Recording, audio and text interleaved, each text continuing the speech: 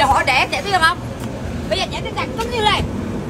Liên quan đến vụ quán ăn đòi tạt canh lên người khách gây bức xúc dư luận, bà Nguyễn Thị Hồng Hải, Phó Chủ tịch Ủy ban nhân dân thị xã Ninh Hòa, tỉnh Khánh Hòa cho biết vừa ra văn bản xử phạt quán ăn này.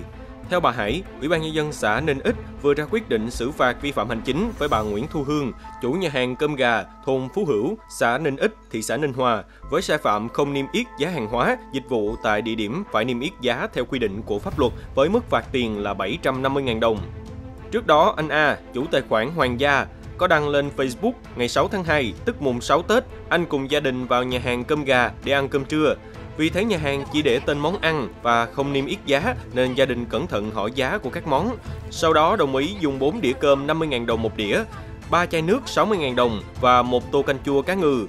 Vì nghĩ phần canh chua cá ngừ nằm trong phần 4 đĩa cơm đó, khi tính tiền, quán báo giá tô canh 150.000 đồng. Anh thắc mắc thì chủ quán cầm tô canh ra đòi tạt lên người khách và bảo không trả tiền thì cũng đừng hòng rời khỏi quán.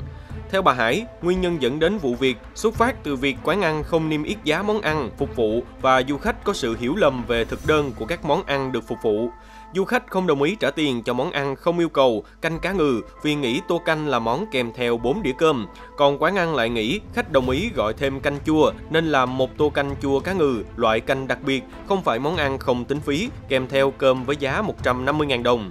Cũng theo bà Hải, đây là lần đầu phát hiện vi phạm tại nhà hàng nên mức phạt mang tính răng đe, cảnh báo.